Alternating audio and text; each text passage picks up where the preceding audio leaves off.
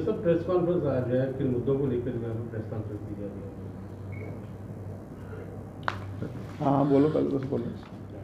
आज जो हमारे ऑनरेबल मेयर साहब हैं ये हमारा जो जम्मू म्यूनसिपल कॉरपोरेशन का जो हमारा कैपेक्स का बजट है एनुअल बजट जो होता है उसके बारे में थोड़ी ब्रीफिंग दे रहे हैं।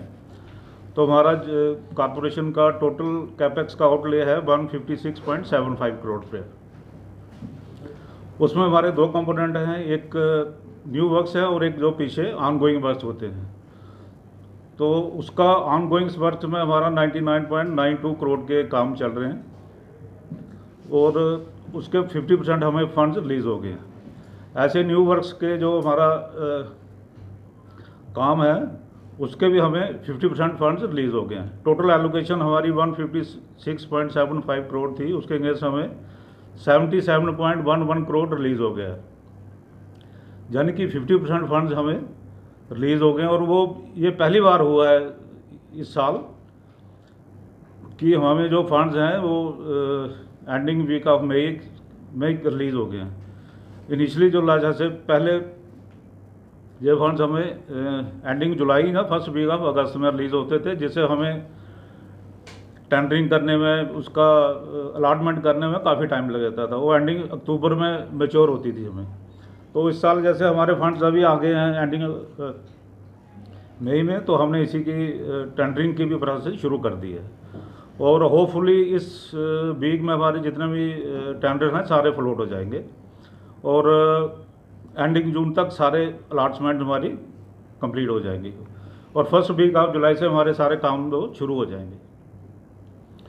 तो इस बार हमें जो डायरेक्शन थी हमारे ऑनरेबल मेयर साहब की, हमारे जितने भी स्टाफ ने बल्कि शुरू से ही एंडिंग फ़र्स्ट अप्रैल से ही काम शुरू कर दिया और एस्टिमेट पर बना के प्लान टाइमली बेच के और इनके एफर्ट से पहली बार इतनी जल्दी फंड्स हमारे पास आए। तो बाकी अब आगे मेयर साहब बताएँगे इनका। मैं पूरी जम्मू म्यूनसिपल कॉरपोरेशन को कमिश्नर से लेकर सफ़ाई साथी तक सबको मुबारकबाद दूँगा कि जिन्होंने इस बार एफर्ट करके स्पेशली हमारी इंजीनियरिंग विंग जिसकी अध्यक्षता करते हैं हमारे joint commissioner works Sumaria ji, कि फंड्स का रिलीज़ इस बार हमारा मई में हो गया।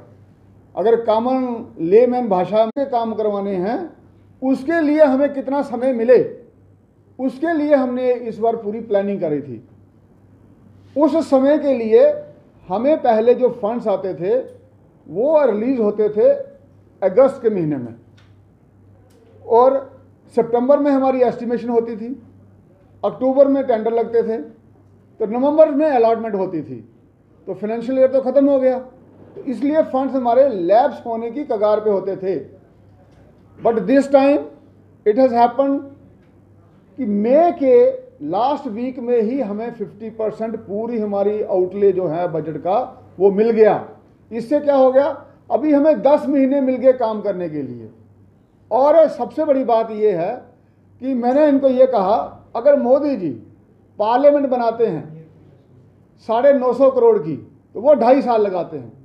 तो सत्तर सत्तर लाख जो हमने एक वार्ड में दिया है, उसको काम करने में भी हमें टाइम कम करना चाहिए। ना कि नौ महीने, आठ महीने। उसमें भी हमने चार महीने कर दिए हैं। कि जितना भी काम हमारा होगा, वो चार महीने में कंप्लीट होगा। वहाँ से भी टाइम हमने कम किया है रिलीज़ हमने पहले करा ली है। अब इससे जनता को फ़ायदा होगा कि उन सबके काम होंगे और पैसा हमारा लैप्स नहीं होगा। जैसे मैंने आपको पहले भी बताया है कि हमारा 2018 में टोटल कैपेक्स का एक्सपेंडिचर वो पैसा जिससे हमने लोगों के काम करवाने थे वो रिलीज़ होता था 1.43 रिलीज़ नहीं, उसका एक्सपेंडिचर वो खर्च कितना हुआ? पचहत्तर वार्डों पर 1.43 और 2019 में हुआ 1.63 20 में हुआ 8 करोड़ 21 में हुआ 38 करोड़, और 22 में हुआ 107 करोड़। और इस बार का हमारा टारगेट है 150 करोड़।